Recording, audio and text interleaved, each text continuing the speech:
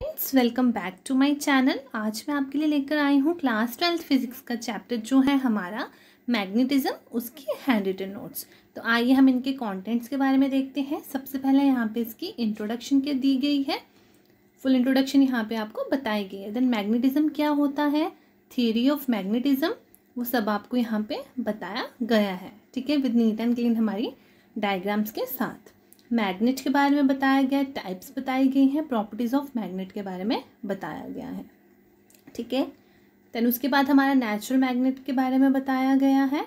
Artificial magnets क्या होती हैं, वो बताया गया। अगर आप इस चैप्टर की हार्ड कॉपी चाहते हैं तो उसका लिंक हमारे डिस्क्रिप्शन बॉक्स में मिल जाएगा। आप वहाँ से जाकर हार्ड कॉपी को ऑर्डर कर सकते हैं। ठीक है? Magnetic substances non magnetic substances magnetic axis, ठीक है, वो बताया गया है। मैग्नेटिक इक्वेटर क्या होता है? मैग्नेटिक लेंथ के बारे में बताया गया है मैग्नेटिक पोल्स, ठीक है। देन आता है magnetic field.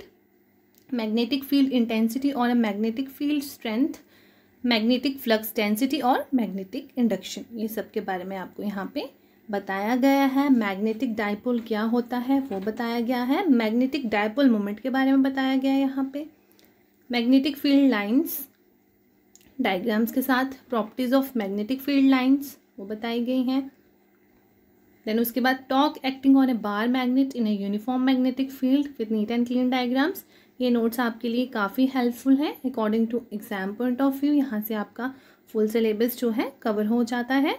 वो पूरा चैप्टर आपको यहाँ पे मिल जाएगा। अगर आप इसकी हार्ड कॉपी चाहते हैं तो लिंक प्लीज़ हमारे डिस्क्रिप्शन बॉक्स को जाकर जल्दी से जल्दी चेक कीजिए। वहाँ से जाकर आप इसकी हार्ड कॉपी को ऑर्डर कर सकते हैं। ठीक है? Then current loop as a magnetic dipole या हम इसे magnetic dipole moment of a current loop भी बोलेंगे। ठीक है? उसके बारे में बताया गया है। अर्थ्स मैग्नेटिक फ़ील्ड क्या होती है? वो यहाँ पे आपको मिल जाएगा।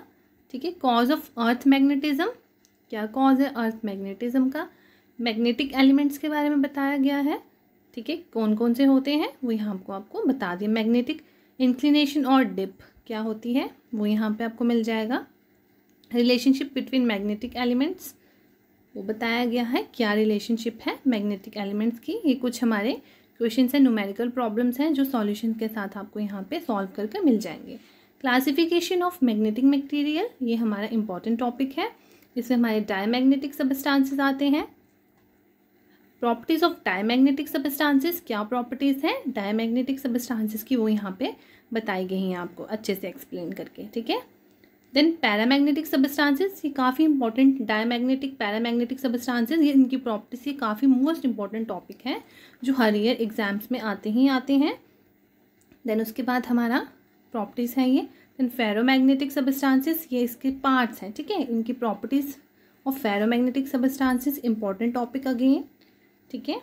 ये हमारा इंपॉर्टेंट टॉपिक है। इलेक्ट्रोमैग्नेटिक क्या होता है? इलेक्ट्रोमैग्नेट के बारे में बताया गया है यहाँ पे। उसके यूजेस ये भी इंपॉर्टेंट है। यूजेस प्रॉपर्टीज़ ठीक है? देन मैग्नेटाइजिंग फ़ील्ड क्या होती है वो बताई गई है। मैग्नेटिक इंडक्शन के बारे में बताया गया है। मैग्नेटिक परमेबिलिटी क्या होती है वो बताई गई है। मैग्नेटिक सस्टिबिलिटी क्या होती है वो बताई गई है। देन उसके बाद इंटेंसिटी ऑफ़ मैग्नेटाइजेशन वो बताई गई है यहाँ पे, ठीक है? देन उसके बाद relationship between U N X M वो बताई गई है, ठीक है? क्यूरिस लॉ क्या होता है, वो बताया गया है।